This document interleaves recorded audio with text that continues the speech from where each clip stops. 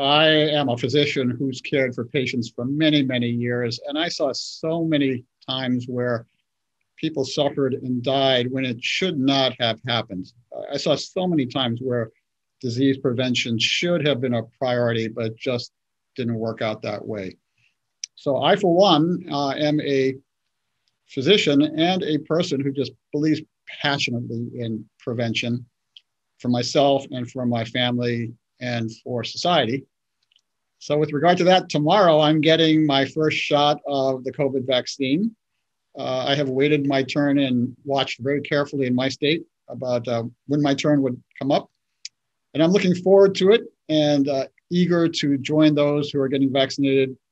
And then, most important of all, doing everything I can to help the country move beyond this current crisis, but very importantly, build a strong system so that we don't ever have anything like this ever again.